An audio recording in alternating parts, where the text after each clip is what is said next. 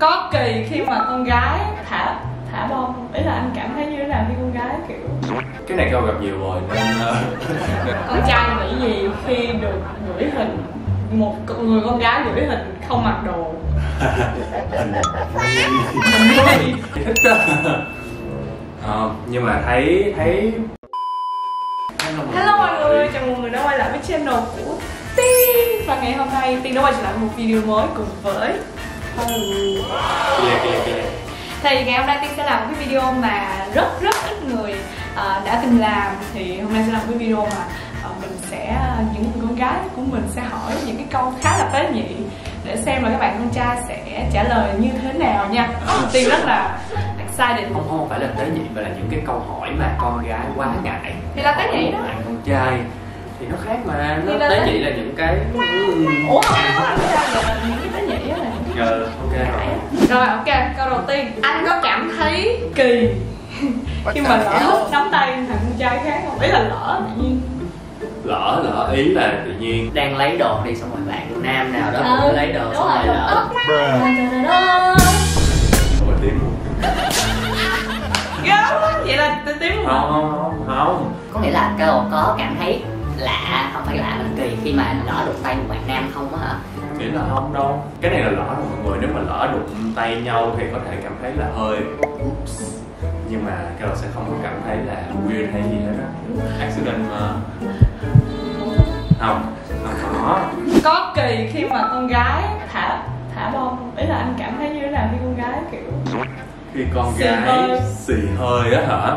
Cái này câu gặp nhiều rồi nên ờ, nên ờ, Anh đừng có cái hồ đã gặp nhiều rồi và cái hồ cũng đã quen với cái việc Gặp nhiều like thì gặp nhiều từ ai thì cô không biết. Là những người anh đã từng nói chuyện hả? không một người thôi.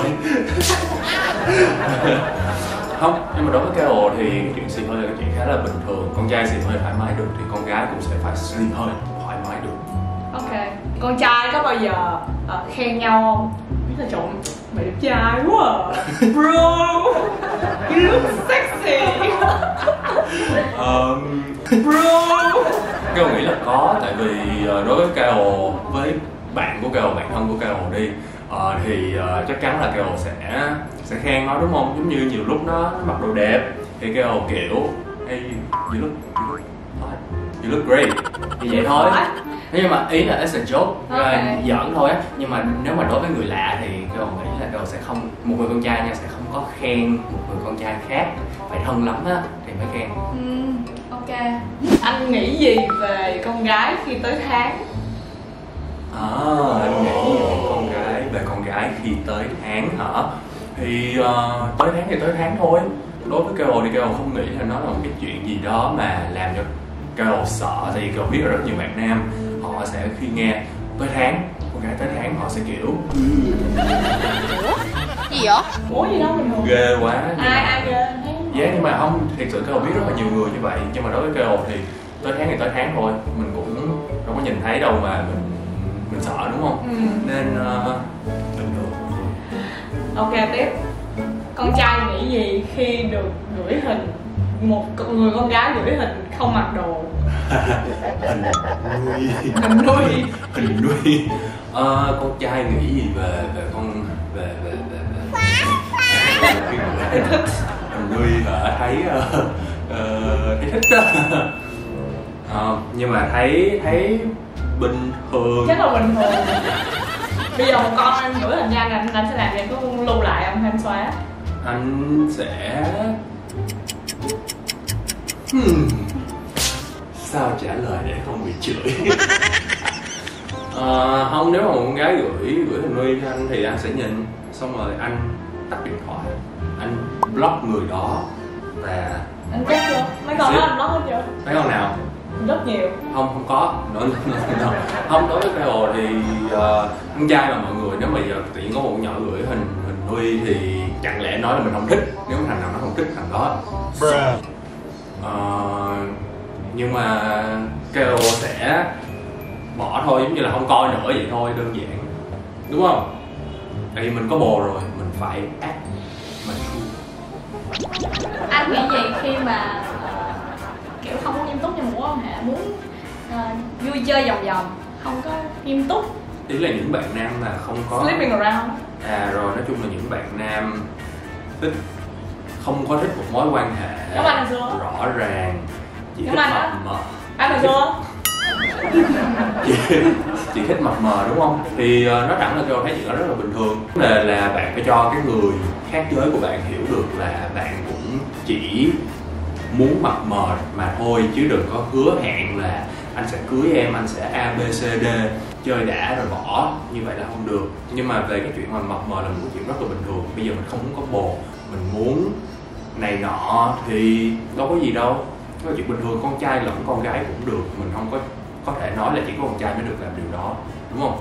Nên uh, yeah, bình thường nó tùy vào cái mà người đó muốn thôi. Ờ, sau nhiều năm quen nhau thì anh có còn cảm thấy kiểu romantic kiểu như là happy vui vẻ hay là anh cảm thấy chán? Hmm, good question. Đối với KO thì KO nghĩ là một bệnh là tùy vào người và nó cũng tùy vào trường hợp.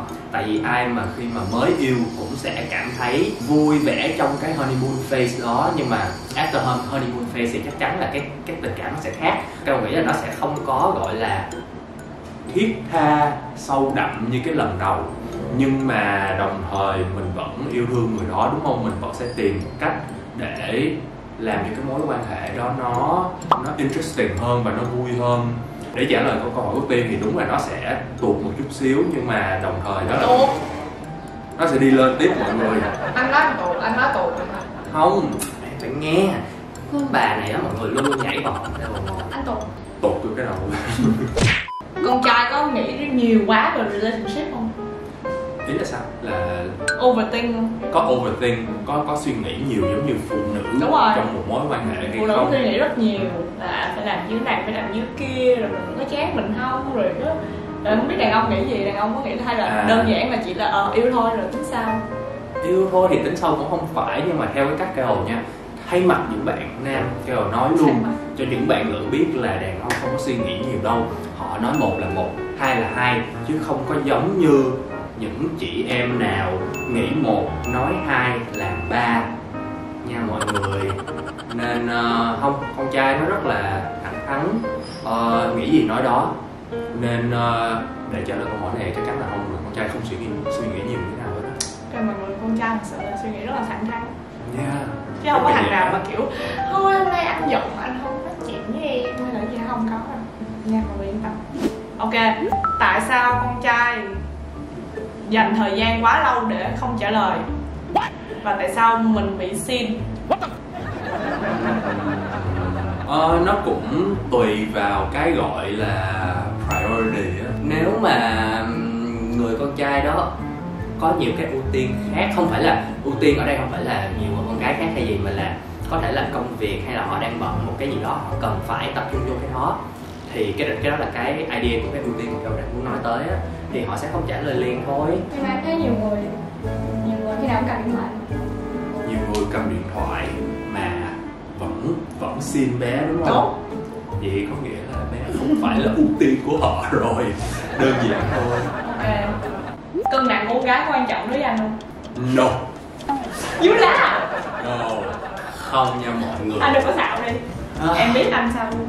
Không nhưng mà ý là mình không phải là kỳ thị hay gì cái này là câu nói thật là không có. Nhưng mà chỉ là cái preference cái mong muốn của KO thôi thì tại vì cái mà KO thích ờ, ở một người phụ nữ thì KO có một cái một cái target nhất định đúng không?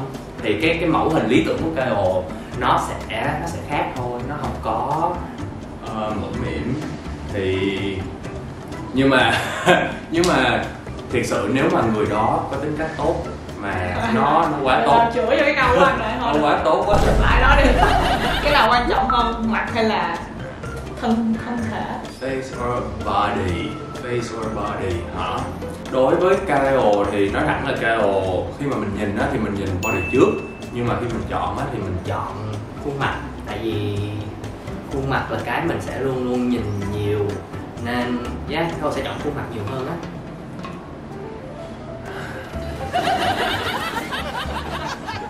con trai có thích khi con gái chủ động. Không yeah of course. Một trăm phần trăm. Trong giống như một cái mối quan hệ cua cua cua cua này cua nọ cua nhau á thì thường là con trai phải là người hầu như con trai sẽ là đứa chủ động trước. Nhưng mà nếu mà con gái chủ động thì thiệt sự là quá tốt rồi mình đâu cần phải phải ngồi mình suy nghĩ coi là bạn này có thích mình thiệt hay không hay là họ chỉ thân thiện thôi. Nên uh, yeah nếu mà con gái chủ động thì quá tốt luôn oh we're just friends. Mình chỉ là bạn thôi em. Sorry. Anh thích gái ngoan hay gái cá tính? À gái ngoan hay gái cá tính? Ngoan có nghĩa là không 10 giờ có về. à 10 giờ về mặc đồ kín kính ừ. Không có hở hang Đúng. và không có đi chơi. Ừ đúng rồi. Không có đi ờ, uống rượu chè Ừ. đúng không? Một cái cá tính là là the opposite. Ok thì uh, cái này khó quá à. Nếu là Kyle thì Kyle nghĩ Kyle sẽ chọn một bạn gái cá tính.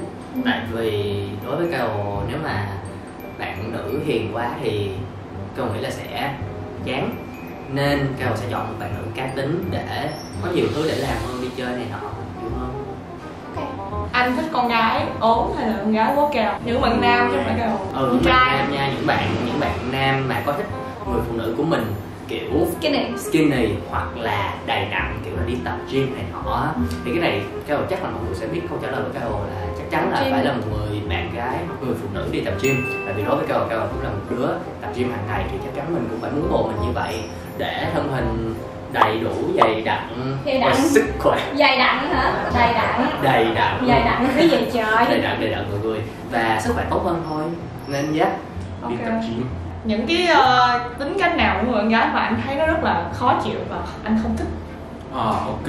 Vậy thì nói chung là bạn nam không thích cái Đúng tính rồi. cách nào? Đúng rồi đúng rồi. Một người bạn nữ đúng đúng không? đúng. Thì đối với cao nghĩ nha thì uh, cao thấy là thay mặt cho những bạn nam cao nghĩ là nhiều bạn nam sẽ nghĩ với hình cả hồ luôn. Có nghĩa là cái, những người con trai uh, cao nghĩ là con trai sẽ không thích nhất khi mà con gái giọng cá chém thớt hoặc là nghĩ cái này mà nói cái nọ kiểu như vậy á giống như là bực thì không nói mà cứ ầm ầm cái kiểu chùa chùa nói chung là rất là nửa này nửa nọ không không có nói ra nói chung là rất là nhức đầu. Em một em có nói mà. Và mè nheo với mọi người. Thì uh, kêu thấy ờ, không thích thôi không thích sự mè nheo. Ờ, con gái mà lăng nhăng không phải lăng nhăng mà là đã rất là đào hoa với rất là nhiều người con gái trai khác. Thì anh thấy cái đó là chuyện bình thường hay là anh có judge không? Anh có kiểu có kiểu không có quen nữa thích hả không? Ừm. kiểu như sao thấy là trời cái con này sao mà quen nó được? Trong khi nó đã từng như vậy với rất nhiều người. Ờ, Cao nghĩ là nói này là Cao không có dám nói cho tất cả các bạn nam và Cao chỉ nói cho bản thân Cao thôi. Thì đối với Cao cái chuyện đào hoa thì con trai con gái của con cả cả hai đều rất là bình thường. Và khi mà Cao nếu mà gặp một bạn nữ khác mà nói chuyện mà có tình cảm đi mà mình biết được bạn đó đào hoa với quá nhiều người rồi thì uh, cũng không sao hết. Đối với rồi một chuyện khá là bình thường luôn á.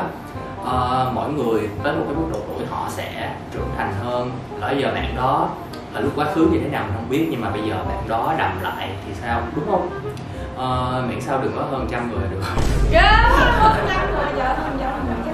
Vậy là ngày hôm nay đã à, giải đáp được à, khá là nhiều thắc mắc cũng như là những cái câu hỏi mà chắc là các bạn nam, các bạn nữ sẽ không bao giờ dám hỏi. Thì ngày hôm nay à, có một đại diện ngồi đây để trả lời cho mọi người những cái câu hỏi đó. Cảm ơn Carol rất là nhiều đã đến với kênh đầu tiên ngày hôm nay và hẹn gặp lại mọi người trong video tiếp theo. Chào biết không Các bạn